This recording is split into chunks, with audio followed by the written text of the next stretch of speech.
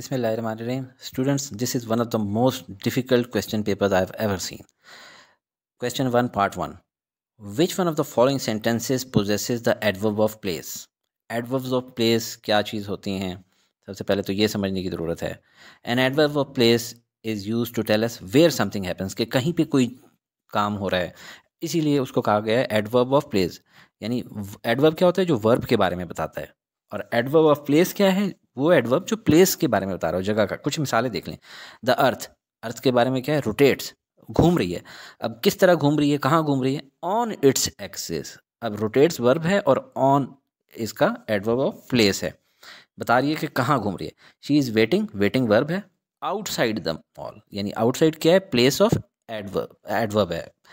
अच्छा अब ऊपर वाले अपने सेंटेंसेस को देखें। कि एडवर्ब ऑफ़ प्लेस कौन सा है? I ran upstairs to my room, ये पहला ही जो है ना हमारा एडवर्ब ऑफ़ प्लेस है। कुछ मिसालें और अगर देखनी है तो I will meet you in the cafeteria the cat is hiding under the table तो आपको याद होगी होंगी। Question number two he finished the dish of ice cream very quickly what is the adjective phrase तो सबसे पहले तो ये समझे एडजेक्टिव फ्रेज होती क्या है? As the term suggest is a phrase it is a phrase that functions just like an adjective in a sentence यानी एडजेक्टिव में तो सिर्फ़ एक वर्ड होता है जो कि नाउन के बारे में बताता है। एडजेक्टिव फ्रेज एक, दो या दो से ज़्यादा वर्ड्स जो कि नाउन के बारे में बताएँ। अब सबसे पहले तो यहाँ पे डिफ़ाइन करना है कि नाउन क्या चीज़ है। He finish the dish dish noun है। Of ice cream ice cream भी नाउन है, लेकिन डिश ऑफ़ आइसक्रीम हाँ यहाँ पता लग रहा है, ये नाउन है। और इस नाउन के बारे में मज़ीद मालूम जो हैं, वो एडजेक्टिव बताएगा। तो ऑफ़ आइसक्रीम नज़र आ रहा है। कि कुछ मिसालें आपको दिखाता हूँ। Have you ever seen an elephant with a white skin यानी एलिफेंट नाउन है, इसके बारे में बता रहे हैं विद अ वाइट स्किन तो ये एडजेक्टिव फ्रेज है। क्राउन मेड ऑफ़ गोल्ड तो ये क्या है? एडजेक्टिव फ्रेज है। A girl with blue eyes ये एडजेक्टिव फ्रेज है। बीस्ट नाउन है in small cages man with a long beard तो ये सारे के सारे एडजेक्टिव फ्रेजेस हैं।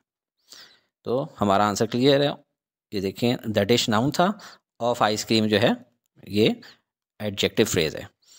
Question three the students need to submit and dash to complete the application for admission जब भी कभी बच्चों दाखिला होता है आपका तो आप लोग क्या चीज़ जमा कराते हैं? एक फॉर्म आप तो नहीं कराते, आपके अबू जमा करा लेते हैं। उसको एफिडेविट कहते होते हैं एफिडेविट लेकिन एफिडेविट की स्पेलिंग अब ये स्पेलिंग तो आम रोज़मर्रा ज़िंदगी का हिस्सा है, ये आपको याद होनी चाहिए, आप ये तस्वीर देखें। सबसे ऊपर एफ़ी डेविट डेविड की तरह लफ्ज़ है। तो ये आपको याद करने की ज़रूरत है। क्वेश्चन नंबर फोर फेक नकली. Fake diamond rings are quite affordable which one of the following contains the best synonym synonym मतलब सिमिलर लफ्ज़ कौन सा है इनमें से? ओरिजिनल तो असली को कहते हैं, नकली नहीं हो सकता. बी इमिटेशन इमिटेशन कॉपी को कहते हैं. ये हो सकता है, लेकिन और भी देखते हैं. लॉयल वफादार. ट्रस्ट वर्दी जिसके ऊपर आपको ट्रस्ट हो. तो इन गिवन ऑप्शन में तो ऑप्शन बी ही है इमिटेशन यानी copying question number five at the end of the speech the whole assembly gave the speakers a standing dash मतलब खड़े होके क्या दिया जब असम्बली ने? एक तकरीर पूरी होगी स्पीकर की तरफ़ से। सारी बातें खड़े होके वो उनके लिए तालियाँ बजाते हैं और इस अमल को क्या कहा जाता है? अब ये देखें कि स्टैंडिंग का लफ्ज़ आया है। स्टैंडिंग स्टैंडिंग के साथ स्टैंडिंग ओवेशन अच्छा लग रहा है। स्टैंडिंग जियरिंग अच्छा नहीं लग रहा, क्योंकि दो इंग इंग इकट्ठे नहीं आने चाहिए। फिर स्टैंडिंग चेयरिंग ये भी नहीं हो सकता। तो दो तो वैसे ही कट गए। तो स्टैंडिंग सपोर्ट या स्टैंडिंग ओवेशन अगर आप लोगों ने तकरीरें वगैरह सुनी हुई हैं इंग्लिश के ड्रामे वगैरह देखते हैं तो आपको याद हो कि ये लफ्ज़ बोला जाता है please give a standing ovation तो ये स्टैंडिंग ओवेशन ये लफ्ज़ है। ये आपको याद करना चाहिए। Question six if you can dash the cost of travel there of course no substitute for visiting the country it's अगर आप ख़र्चा बर्दाश्त कर सकते हैं ट्रैवल करने का, आप उसको बियर कर सकते हैं तो अब इसके लिए क्या आना चाहिए? If you can afford the cost if you can spend the spend तो हो ही नहीं सकता, वो तो खर्चा, जाने के बाद खर्चा करना है। इफ़ यू कैन एक्सपेंड भी बिल्कुल नहीं होता इफ़ यू कैन कैलकुलेट तो हर कोई कर सकता है तो बेसिकली अफोर्ड ही है। इसको अगर यूँ देखें I can't afford to travel ये जुमला आम तौर पर बोलने में आता है तो ये अफोर्ड ही इसका बन रहा है। Question number seven Nafeesa is afraid dash spiders मेरे ज़ुबान में ख़ुद ब खुद कुदरती तौर पे वो लफ्ज़ आ रहा था, Nafeesa is afraid of spiders from in about नहीं होता। ये तस्वीर याद रख लें अफ्रेड ऑफ़ स्पाइडर्स या हम लोग ये बोलते हैं I am not afraid of you any more अब मैं तुमसे नहीं डरता। तो ऑफ़ आंसर है। Question eight identify the simple sentence from the sentences given below सबसे पहले तो हमें ये पता होना चाहिए ना सिंपल सेंटेंस है क्या और और किस किस्म के होते हैं। तो सिंपल कंपाउंड और कंपाउंड कॉम्प्लेक्स तीन तरह के सेंटेंसेज होते हैं। सिंपल सेंटेंस जिसमें छोटे मोटे लफ्ज हैं शी स्माइल्ड सिंपल एक ही जुमला है। कंपाउंड कहा जाता है दो या दो या दो से ज़्यादा को। कंपाउंड यहाँ पे दो की मिसाल देख लें। एक ये सेंटेंस है शी स्माइल्ड और शी लाफ्ट इन दोनों को आपस में कोऑर्डिनेट कौन करा रहा है? And she smiled and she laughed और इसमें एक पंक्चुएशन भी लगता है पंक्चुएशन यानी पंक्चुएशन और कोऑर्डिनेटर कॉम्प्लेक्स क्या होता है? जिसमें एक डिपेंडेंट और एक इंडिपेंडेंट वर्ड होता है। She smiles when she is happy यानी कब मुस्कुरा रही है? जब हैप्पी है। यानी हैप्पी होने के ऊपर डिपेंड कर रहा है स्माइल करना तो एक जो है इंडिपेंडेंट है और एक डिपेंडेंट क्लॉज है। तो ऐसे वाले को कॉम्प्लेक्स सेंटेंस करते हैं। हमारे वालों में आप देखें तो सिंपल हमने ढूंढना है। तो सिंपल एक तो सबसे छोटा होगा। तो ये बहुत बड़ा सेंटेंस है, ये बहुत बड़ा सेंटेंस है। ये भी इसमें भी दो दो जुमले मिले हैं। तो ये वाहिद जुमला है जो अकेला है। The largest mammal is found in the sea so this is our answer question number nine the teacher set homework dash the end of the lesson ये आम रोज़मर्रा अंग्रेज़ी बोलने वालों को आसानी से आता है। The teacher set homework about the end नहीं। In the end of the end of the end भी नहीं हो सकता अबाउट द एंड या इन द एंड होगा या at the end at the end होगा। बेहतरीन अंग्रेज़ी एट द एंड है। इन द एंड बीच में तो नहीं करेगी ना एट द एंड ये चंद मिसालें अगर आप इनको देख लें। इन वाले के अंदर देखें in the sky in bed in a room in time right side वाले इन में देखें। इन द मॉर्निंग, अगर ऐट को देखें एट नाइट एट मून कब किया, कब?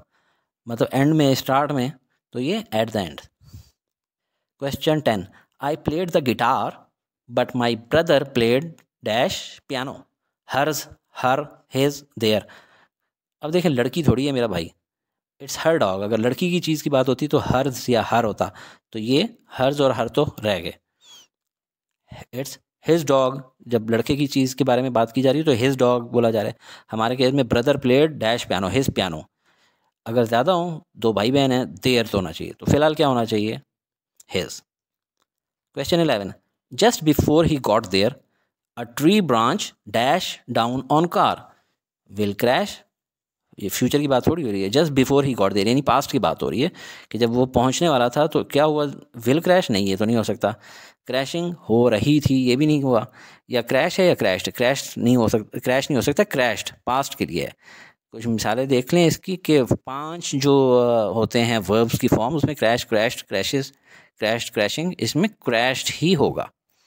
Just before he got there a tree branch crashed down on the car question twelve a lie has no legs झूठ के पाँव नहीं होते। Which poetic device is use in the sentence कौन सी यूज़ हुई हुई है? परसोनिफिकेशन देखें। Personification is a type of metaphor and a common literary tool it is when you assign the qualities of a person to something जब कभी किसी इंसान के अंदर जो क्वालिटीज़ हों, वो किसी चीज़ के बारे में इस्तेमाल की जाए तो उसको परसोनिफिकेशन कहा जाता है। कुछ मिसालें देखें। Trees danced the in the wind दरख्त नाच रहे थे हवा के अंदर। यानी कि दरख्त तो बेसिकली नाचते नहीं इंसान डांस किया करते हैं, नाचते हैं। तो दरख्तों को मिसाल दे दिए गए नाचने की। The stars winked in the night sky उन्होंने आँख मारी सितारों ने रात में। सितारे तो नहीं आँख मारते। द सन स्माइल्ड सूरज तो नहीं, इंसान smile the grey clouds cried आसमान तो नहीं, बारिश तो बादल तो नहीं रोते। बारिश जो है, इंसान रोता है, यहाँ तो बारिश बरसती है। तो ये पहला वाला ही हमारा आंसर है परसोनिफिकेशन जहाँ पे पर्सन की तरह की मिसाल दे दी जाए। Question thirteen dash it was raining I still walk to school ये आम ज़िंदगी में भी हम बोलते रहते हैं, अगर आप बच्चों को आदत डालें, एक दूसरे को आपस में इंग्लिश में बात करें कंजिक्वेटली इट वॉज़ रेनिंग नहीं हो सकता। ये सारे के सारे क्या हैं? Accordingly as a result although देखने में पता लग रहा है although it was raining it's I still walk to school ये ट्रांजिशनल डिवाइसेज हैं ये सारी की सारी, जो कि क्या करती हैं, जो कि वर्ड्स होती हैं या फ्रेजेज होती हैं, जो कि हेल्प करते हैं to carry a thought from one sentence to another from one idea to another और from one paragraph to another यानी कि ये एक थाट है, ये दूसरी थाट है, दोनों को आपस में मिलाने के काम आता है। जिस तरह यहाँ पे although it was raining it was raining एक सेंटेंस है, लेकिन ऑल दो का के ट्रांजिशनल वर्ड इन दो जुमलों को मिलाया जा रहा है। तो ट्रांजिशनल वर्ड और कौन कौन से होते हैं? However because for example so overall yet finally moreover in fact furthermore if next I I dash my mobile phone since 2009, one of the most difficult subjects in English grammar. Have had ये आपने बहुत कम सुना होगा। चूँकि ये option बाकियों से मुख्तलिफ़ है तो देखते ही आप अंदाज़ा लगा लें कि एग्जामिनर ने हमें फंसाने की कोशिश की है। वो चाह रहे हैं कि हम कोई ऐसा जवाब लिख दें I had my mobile phone since 2009 ये नहीं बोलते होते। I have my mobile phone since 2009 ये भी ऐसे नहीं बोलते होते। I am having I have I had my mobile I have had my mobile phone ठीक है? तो ये बीच वाली मिसाल है, और ये चंद आप वर्ड्स इसके बारे में पढ़ सकते हैं। तो have had is the answer question fifteen life is but a walking shadow क्या शेडो इंसान की प्रॉपर्टी है? इंसान की जिसम की तो नहीं है ना? वो तो सूरज जब उस पर पड़ता है तो तब उसका शेडो आता है। लिहाजा परसोनिफिकेशन से इसमें कंफ्यूज नहीं होना आपने। परसोनिफिकेशन उस चीज़ की होती है जो ह्यूमन के अंदर हो। ह्यूमन के अंदर साया नहीं होता। ह्यूमन खुद साया नहीं पैदा कर सकता अपना। हिला नहीं सकता। हाथ नहीं हिला सकता। मतलब जो है ना, साया नहीं हिला सकता है। हाथ हिला सकता है, हंस सकता है स्माइल कर सकता है, आँख मार सकता है। सिमिली क्या होती है, जिसमें लाइक किसी चीज़ के साथ मुशाबियत दी जा रही हो, मिसाल के तौर पे। और a metaphor life is curly slide ज़िंदगी एक जिग जैग चीज़ है full of twist and turns अब ये किसी मुर्दा चीज़ से तशबी दी जा रही है। बेसिकली यही हमारा आंसर है। एलिट्रेशन क्या होती है? मैंने तो ए से याद की है कि शुरू के जो वर्ड्स हों, एक जैसे आ रहे हों कारली Carly cooked a casserole. Will wanted a warm weather. Boston baked beans. Initial voice एक जैसी आ रही है तो वो तो ये फ़िलहाल आंसर हमारा मेटाफॉर है life is better walking shadow metaphor अगर आप इस किस्म की मदीद वीडियोस देखना चाहते हैं तो हमें कमेंट्स सेक्शन में ज़रूर बताएँ